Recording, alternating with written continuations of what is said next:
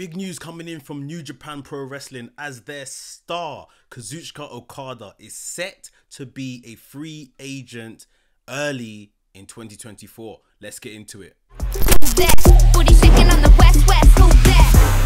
IWGP heavyweight champion, world champion, they call it two different names because they're the iterations of the belt.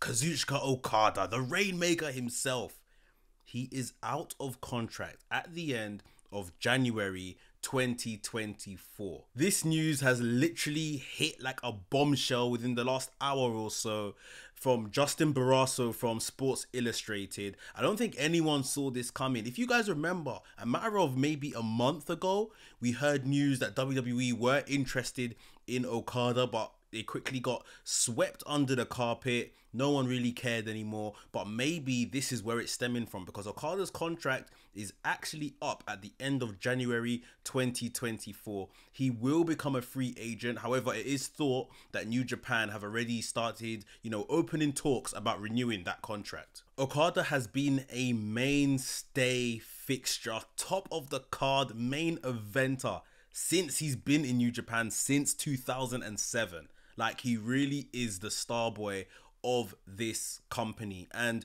until recently, he has just been amongst the big boy belts. It's only ever been an IWGP World Championship or the IWGP Heavyweight Championship. Like I said, it's only recently with Tanahashi and Ishii he started stepping his his toe into the never open weight trios division, and of course, he is a champion there as well. But of course, he has been around the block. He is a very experienced wrestler, even in his tender age. He's not even anywhere near 40 years old yet.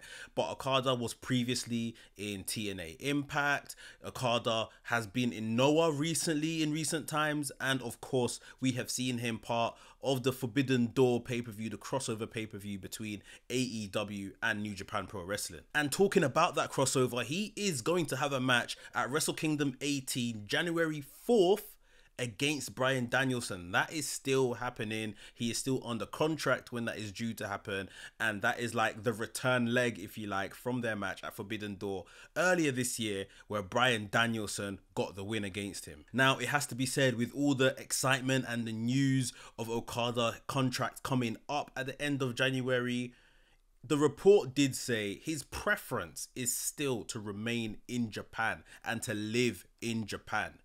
Now, of course, we're going to theorize, you know, where is he going to go? Is it going to be an AEW move? Is it going to be a WWE move? Well, we have seen, you know, the likes of Will Ospreay recently sign his contract with AEW. And as part of his contract, he doesn't have to move to the US. They were quite happy for Will Ospreay to stay based in England, which was his preference as well. But he can also do stuff with AEW. And it kind of makes sense, you know, for Okada. You know, I'm advocating for Okada to leave New Japan, and I'll tell you why in a second.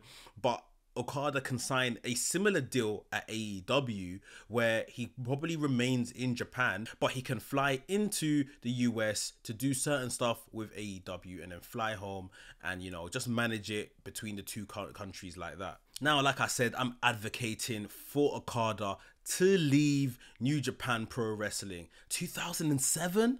Huh? He's been there for such a long time. Like, what? We're coming on to like 15 years old or whatever. Like, he is an absolute legend in Japan and New Japan Pro Wrestling. Like I said, he's flying the flag out there. It will be tough times for them losing Will and Okada, you know, in the space of a month, but for him, I think he should move on. And it's almost like a sideways move. I would say AEW is the place that would feel most like home for Okada. He would know a lot of the talents there, as you know, a lot of them came from Japan to start AEW.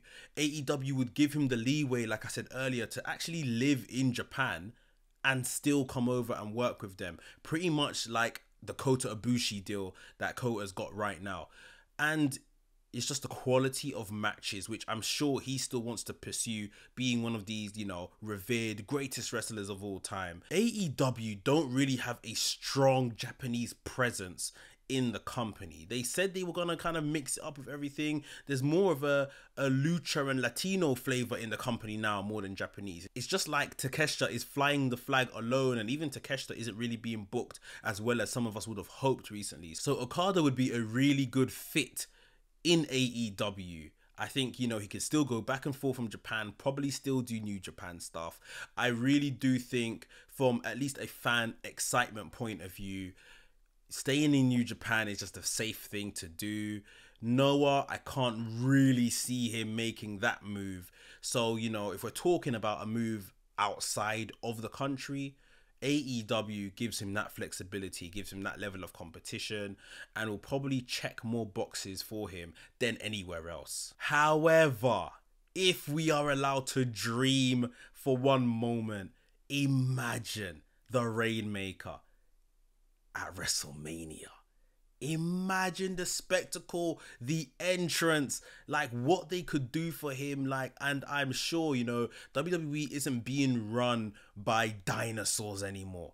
There's a lot more of a better image, and we've heard in recent times that WWE are actively trying to fix their image of the foreign wrestlers, of the luchadors, of the Japanese imports. They're working on it. What better way to say that they're working on it by bringing in Japan's poster boy, almost sitting him under the learning tree of Shinsuke Nakamura, who I say sitting him under the learning tree, you know, Okada's very experienced, but it's almost like he's been in the country and, you know, knows how the whole TV stuff works for WWE. And what about, you know, maybe getting a, a WrestleMania match between Nakamura and Okada? That would be excellent, no? Like, I think we're allowed to dream here, and WWE are having such a good time of it right now. It is not impossible that they signed Kazuchika Okada. They signed CM Punk recently, and that's big, big business. Like, that is big, big business for them. But what does it say? They still missed out on Will Ospreay. This could be almost like a counter signing for not getting Will let's get the Rainmaker Kazuchika Okada. I really do think that, you know, if we're allowed to dream, this would be an excellent signing. AEW almost feels like like almost like another safe signing, like I said that New Japan would be. This would be totally left field. Of course, WWE will come with its cons as well. The product isn't necessarily as wrestling centric as you would like, some fans of Okada would like, as maybe Okada himself would like. And there's more on that whole entertainment element of it. We all know that. And of course, we don't know how lenient WWE would be in allowing Okada to remain in Japan and fly in for his dates. We would have to see. AEW, I think, would be a really good place, and I'll be really happy if you ended up in AEW. The safe thing to do would be to re sign with New Japan, and personally, I'm not trying to see that happen. You guys let me know what you trying to see that happen. Let me know in the comments below where Okada should turn up. I want to hear from you. If you enjoyed today's video, please hit the like button, and if you're new to the channel, welcome to the channel. Subscribe to the channel and hit the notification bell so you get notified each and every time I drop a new video. WrestleManiac UK signing out, and I'll see you soon.